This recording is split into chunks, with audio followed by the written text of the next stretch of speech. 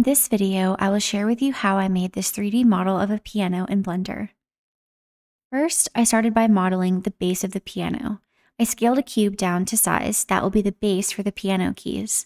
And from there, I modeled the wood pieces that frame the keys. To create the rounded slope on this side piece, I used a cube with the subdivision modifier. I still wanted to keep the other edges flat, so instead of adding a ton of loop cuts to define the edges, I just used Shift E on some of the edges to sharpen them.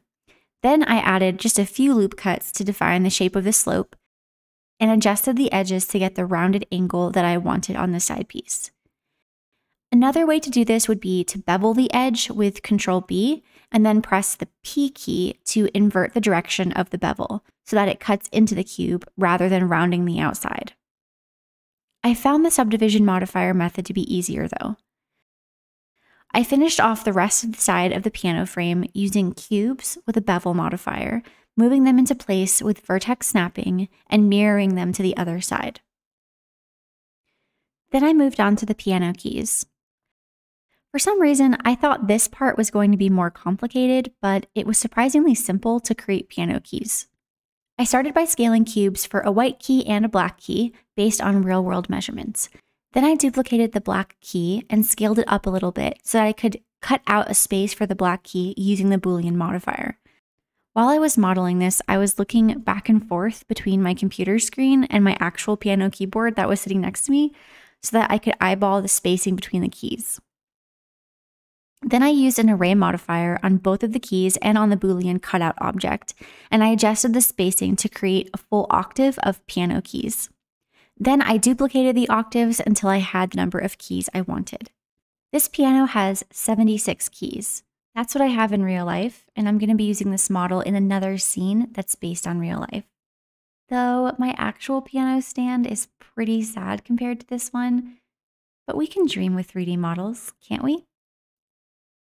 Once all of the piano keys were modeled, I positioned them in the piano frame and adjusted the height of the keys so that they were raised up above the base that they were sitting on.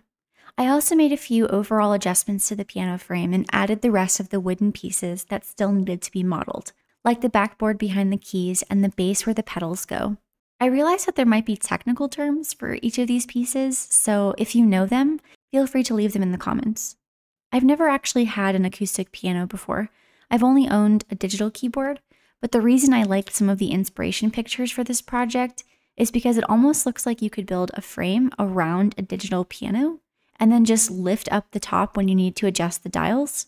And the rest of the time, it just looks like an acoustic piano, which is super cool to me and something I kind of want to explore in the future. To model the pedals, I subdivided a cube to create some roundness and used Shift E again to sharpen the edges of the cube.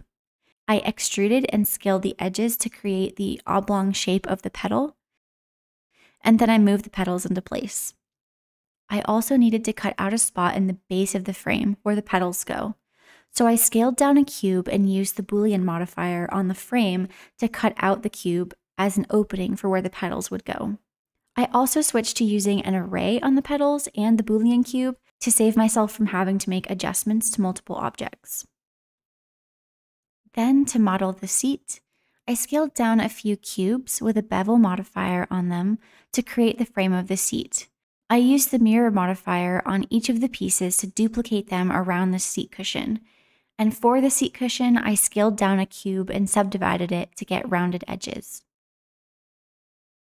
Moving on to texturing, I UV unwrapped everything and used nodes to create a procedural wood material I'm using this model in a semi-stylized scene later, so I just wanted to add a little bit of dimension to the materials and not a whole lot of realism. To create the procedural texture, I used a color ramp node and inputted two different colors, a lighter and a darker wood color.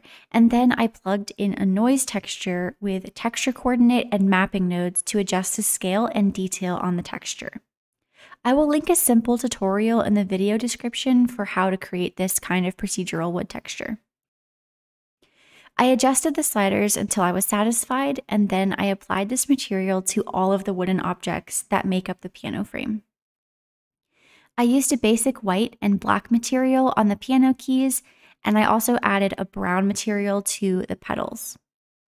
And for the seat, I was really just looking for a little bit of detail on the cushion, so I used a similar node setup to create a procedural texture for the fabric.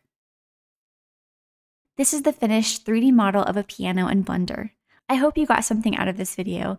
Let me know in the comments if you liked the format of this video. Thank you for watching.